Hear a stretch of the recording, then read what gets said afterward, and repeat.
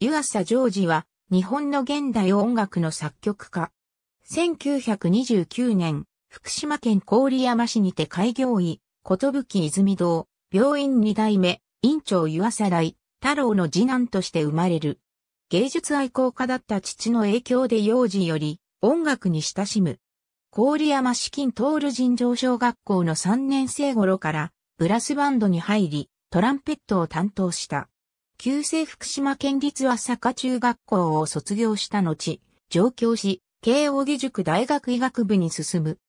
当時は外科医志望であり、作曲は趣味として行うつもりだったが東京で日本の現代音楽の状況を知るうちに、このぐらいなら自分でもできると思うようになり1951年、10年間は面倒見てやるからとの父親の合意のもとに医学部教養課程を中退して作曲の道に進む。詩人、滝口修造のもとで組織された芸術家グループ、実験工房に入会。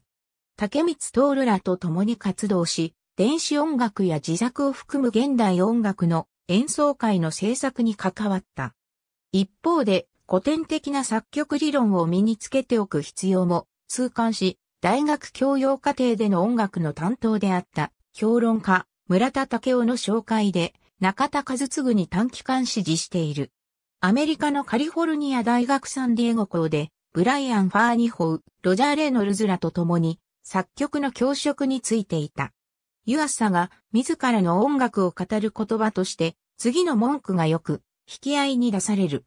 私にとって音楽とは音響エネルギー体の空間的、時間的推移である。これはつまり音楽をその音響現象の中に見られるエネルギーの力学的運動として捉えることにより、その音楽の語り口を見出そうというものである。このことによって、ユアサは、ジャンルや様式、地域性などを超えたほとんどの音楽がこの言葉によって説明できるとしている。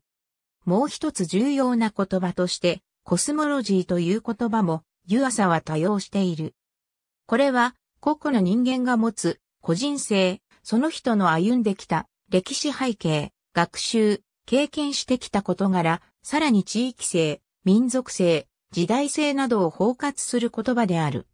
これによって個々の作曲家には個性が反映され、作曲家独自のメッセージが生まれると、ユアサは解説している。アピックシステムを用いて制作された音楽作品は宣伝の割には意外なほどにアピック単体のために制作されたものに傑作が少ないが、そのような不毛の中で、アピックによる資源への眼差し第一番はその数、少ない中の傑作であるばかりか湯浅音楽の最高峰に位置づけられている。カリフォルニア大学サンディエゴ校教授、日本大学芸術学部客員教授、東京音楽大学客員教授、東方学園大学特任教授などを経て、現在、カリフォルニア大学サンディエゴ校名誉教授、国際現代音楽協会名誉会員、慶応義塾大学アートセンター訪問書院、郡山市名誉市民。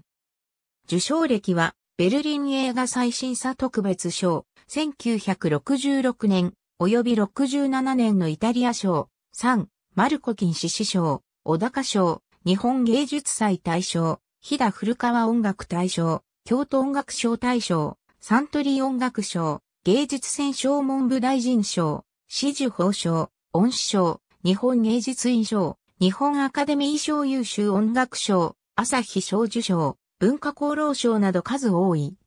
作曲の弟子には、藤枝守、田中壮、伊藤博之、久田則子、伊佐知正、上田明、松本直介樹、今井聡慶、中橋愛生、川上光、ジュリアン・ユーラがいる。